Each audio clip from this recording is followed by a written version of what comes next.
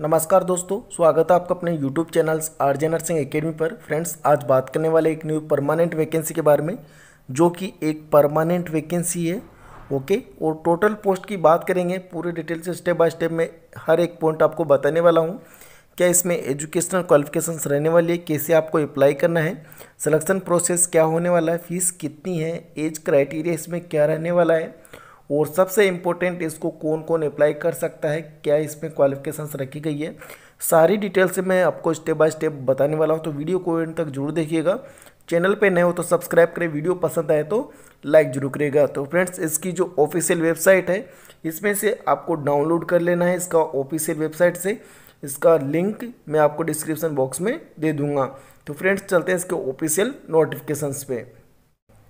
Friends जैसा कि मैंने आपको बताया वैकेंसी को गवर्नमेंट मेडिकल कॉलेज रतलाम के द्वारा इस वैकेंसी को निकाला गया है ओके और इसमें सबसे इम्पोर्टेंट कि इसका जो ऑनलाइन आपको अप्लाई करना है स्टाफ नर्स की पोस्ट है और ऑनलाइन इसको एमपी ऑनलाइन की जो वेबसाइट है, www.mponline.gov.in पर आप इसको 25 अप्रैल 2021 तक शाम को, रात को 12 बजे तक आप इसको अप्लाई कर सकते हैं ओके तो इस वैकेंसी के बारे में मैं आपको पूरा बताने वाला हूँ। तो महिला स्टाफ नर्स की वैकेंसी टोटली ये महिला फीमेल कैंडिडेट्स है, जो फीमेल स्टाफ नर्स है, उसके लिए वैकेंसी रखी गई है। टोटल पोस्ट तीन सौ नब्बे, इसमें पोस्ट रहने वाली, जिसमें से सीधी भर्ती हेतु तीन सौ नौ पोस्ट को रिज़र्व किया गया है, और सुविधा हेतु ट्वेंटी परसेंट जो वैकेंसी है, उसको एट्टी वन जो पोस्ट है, उसको जो कैंडिडेट्स वहाँ पे सुविधा में लगे ही, लगे हुए हैं, उनके लिए इसमें एट्टी वन पोस्ट को रिज़र्व किया गया है। सीधी भर्ती के लिए जो स्टाफ नर्स की वैकेंसी है, उसमें तीन सौ नौ पोस्ट है जिसको अलग अलग कैटेगरी में यहाँ पे इसको डिवाइड किया गया है। ये आप देख सकते हो। ओके नेक्स्ट बात करते हैं 81 पोस्ट के बारे में। तो 81 पोस्ट जो सीधी भर्ती है, ये वहाँ पे जो कैंडिडेट्स लगे हुए हैं संविदा के अंदर उनको 20 परसेंट में रिज़र्व किया गया है। नेक्स्ट अगर बात करें एजुकेशनल क्वालिफिकेशंस के बारे में तो एजुकेशनल क्वालिफिकेशंस इसके अंदर न्यूनतम जो दी गई है, वो मैं आपको बताने वाला हूँ। टेन प्लस टू जो कि आपका physic physic physics chemistry and biology के साथ में आपका ट्वेल्व उत्तीर्ण होना ज़रूरी है। बीएससी नर्सिंग या जीएनएम कैंडिडेट्स इसमें अप्लाई कर सकते हैं। मध्य प्रदेश नर्सिंग काउंसिल के साथ में आपका यहाँ पे रजिस्ट्रेशन होना ज़रूरी है। नेक्स्ट बात करते हैं वेतनमान जो आपका वहाँ पे भत्ते प्लस जो भी आपका सैलरी पैकेज रहने वाला है, वो बता देता हूँ। स्टाफ नर्स के लिए अट्ठाईस हज़ार सात सौ प्लस लेवल फाइव के आधार पे आपको यहाँ पे सैलरी मिलने वाली है। नेक्स्ट इसमें दिया गया कि जो महँगाई भत्ता एंड अन्य जो भत्ते वहाँ पे दिए जाते हैं, वो सारे इसमें लागू होने वाले हैं। और जो नियुक्त कर्मचारी पर नवीन पेंशन योजना शासन के आदेशानुसार प्रभावी होगी ओके जो आपका वहाँ पे न्यू पेंशन स्कीम के आधार पे जो भी है, वो वहाँ पे आपको प्रोवाइड करवा दिया जाएगा। नेक्स्ट बात करते हैं कुछ यहाँ पे इम्पोर्टेंट पॉइंट शर्तें दी गई है तो मैं आपको पहले बता देता हूँ वैकेंसी को दिया गया है कि उम्मीदवार को मध्य प्रदेश का मूल निवासी होना चाहिए ओके उम्मीदवार मध्य प्रदेश का मूल निवासी होना चाहिए, तभी आप इसके लिए अप्लाई कर सकते हो। और जो एज लिमिट के बारे में अगर बात करें तो इसमें एज लिमिट भी दी गई है। एज लिमिट आपका अनारक्षित जो वर्ग है, उसको 18 से 40 साल तक आप अप्लाई कर सकते हो और जो अदर कैटेगरी है उसको 18 से 45 साल तक इसको अप्लाई कर सकते हैं। अधिकतम पाँच वर्ष का इसमें छूट दिया गया है। नेक्स्ट बात करते हैं कुछ इंपॉर्टेंट पॉइंट इसके बारे में। तो इम्पोर्टेंट पॉइंट है इसमें अगर आपका परसेंटेज बेस पे वैकेंसी होने वाली है तो हाई स्कूल का हाई सेकेंडरी स्कूल का जो परसेंटेज है, उसमें ट्वेंटी परसेंट मार्क्स तो हाई सेकेंडरी स्कूल का यहाँ पे लिया जाने वाला है। नेक्स्ट सेवेंटी परसेंट जो मार्क्स है वो यहाँ पे बीएससी नर्सिंग और जीएनएम कैंडिडेट्स जो परसेंटेज है, उस आधार पे आपको यहाँ पे होने वाले हैं। प्लस एमएससी नर्सिंग के टेन परसेंट आपको यहाँ पे काउंट किया जाएगा। टोटल हंड्रेड का यहाँ पे उसको कैलकुलेट किया जाएगा।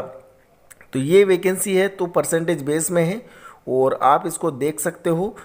और कुछ इम्पोर्टेंट पॉइंट आपको कैसे अप्लाई करना है, क्या इसमें प्रोसेस होने वाली है, वो भी मैं आपको बता देता हूँ। तो ऑनलाइन आवेदन प्रारंभ होने की तिथि है दो अप्रैल 2021 और ऑनलाइन आवेदन जमा करने की अंतिम तिथि है 25 अप्रैल 2021 और आवेदन में त्रुटि सुधार हेतु प्रारंभ तिथि 25 अप्रैल दो, चौबीस अप्रैल 2021 प्लस आवेदन में त्रुटि सुधार हेतु अंतिम प्रारंभ तिथि 26 अप्रैल 2021 तो ये डेट इसमें दी गई है तो आपको इसको ध्यान रखना है। नेक्स्ट अगर एप्लीकेशन फ़ीस के बारे में बात करें तो जो अनारक्षित वर्ग के जो कैंडिडेट्स हैं, उनको एक हज़ार रुपये यहाँ पर आपका होने वाला है। जो अदर कैटेगरी है, जैसे कि अनुसूचित जाति, अनुसूचित जनजाति है तो यहाँ पे आठ सौ रुपये दिए गए हैं। और अन्य पिछड़ा वर्ग, जैसे केवल गैर क्रिमिनल एयर तथा अनारक्षित वर्ग के जो कैंडिडेट्स हैं, उनको नौ सौ रुपये यहाँ पे जमा करवाने होंगे। नेक्स्ट आपको फॉर्म को कैसे अप्लाई करना है, ये भी मैं आपको बता देता हूँ।